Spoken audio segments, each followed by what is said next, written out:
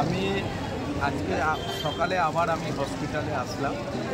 কালকে দুর্ঘটনার পর থেকে কন্টিনিউ স্টেশন থেকে হসপিটাল সর্বক্ষণ আমি যারা আহত হয়েছেন, যারা মারা গেছেন, তাদের পাশে ছিলাম। কালকে তিনজন স্পট ডেট হয়েছে, আঠাশ জন ভর্তি ছিল। তার মধ্যে আজকে দুজনের ছুটি হয়ে গেছে, ছাব্বিশ জন ভর্তি আছে। তাদের সবাইকে দেখে গেলাম এবং সকালে আমার ওয়ার্ডের পাশের ওয়ার্ডে একজন মারা গেছে। তার কবর হয়েছে, সেখানেও আমরা সবাই গেছিলাম। এবং এই রকম বড় একটা দুর্ঘটনা, এর আগে বর্ধমান স্টেশন ভেঙে পড়ে গেল। কালকে আবার এই জলের ট্যাঙ্কি ভেঙে যাওয়া, একশো তেত্রিশ বছরের একটা জলের ট্যাঙ্ক। যে জলের ট্যাঙ্কে কদিন আগে শুধু রং করেছে ভিতরে যে জং ধরে নষ্ট হয়ে গেছে, সেটা কোনোভাবেই রেলের কর্তৃপক্ষ দেখে নাই।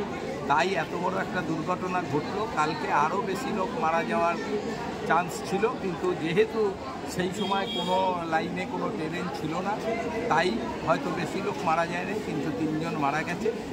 আঠাশ জন আহত হয়েছিল, দুজন ছুটি হয়েছে, এখনও ছাব্বিশ জন হসপিটালে ভর্তি, তাদের দেখে গেলাম। কেন্দ্রীয় সরকার কোনোভাবেই রেলের পরিষেবা নিয়ে তারা কোনো রকম চিন্তিত না। তারা বলবেন মডেল স্টেশন করব। দুদিন পর পর একটা করে ট্রেন ছাড়ছে।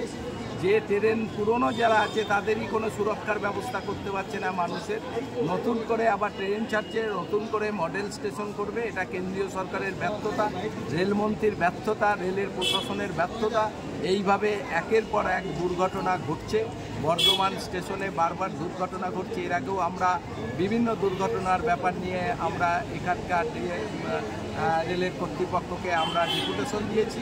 আবার আমরা কয়েকদিনের মধ্যে ডেপুটেশন দেব। রেলের কোনো মাথা ব্যথা নাই, তাদের রেলের কোনো পরিষেবা নাই, মানুষকে কোনো পরিষেবা দিতে পারছে না। তাই গোটা ভারতবর্ষে রেল পরিষেবা ভেঙে পড়েছে। বিভিন্ন জায়গায় রেলের দুর্ঘটনা, প্রচুর মানুষ মারা যাচ্ছে এবং আমাদের বর্ধমান শহরে পরপর কিছু দিনের মধ্যে দুটো দুর্ঘটনা ঘটে।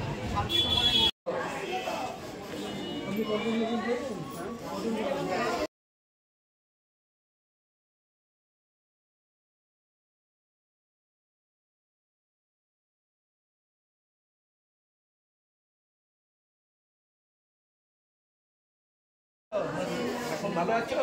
আসলে হ্যাঁ? ঠিক আছে।